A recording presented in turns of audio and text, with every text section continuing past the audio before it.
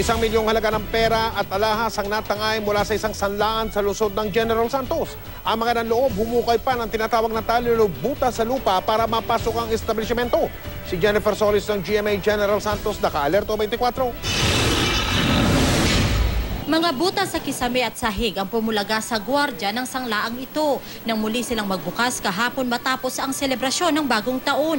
Sa inisyal na investigasyon ng pulisya, pumasok daw ang mga sospek sa manhole na may 10 metro lang ang layo mula sa harap ng sanlaan. Mula sa manhole, gumawa raw ng tunnel ang mga kawatan patungo sa loob ng pawn shop at pinutas ang sahig nito. Sinira talaga nila yung linagay na ano na, na pangharang sa manhole, yung concrete na ano barrier doon sa ano sa manhole. Bukod sa posibleng ginawa ang panloloob sa kasagsagan ng putukan noong bagong taon, sinira rin ng mga salari ng alarm system ng pawn shop kaya walang nakapansin dito. Na-recover naman ng pulisya ang gloves, flashlight at sako na ginamit ng mga magnanakaw. Tinatayang di bababa sa isang milyong piso ang halaga ng mga natangay na pera at alahas. Inaalam pa ng mga otoridad kung sino ang nasa likod ng panloloob. Yung mga nakakita is ah sila yung nagbibigay ng ano, information sa amin kung anong itsura ng mga ano, medyo slim ang katawan talaga daw nung pumasok. Tapos nung nakita kasi sila lumabas sa ano is putikan.